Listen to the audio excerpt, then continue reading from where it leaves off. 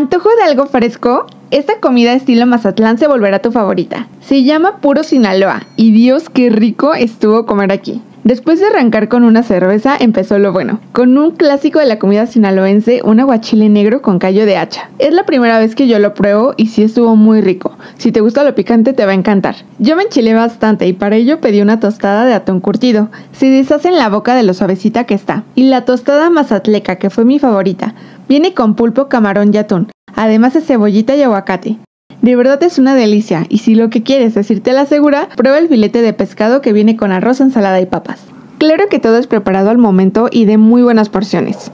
Por último, su almeja chocolatada que no sabes la combinación.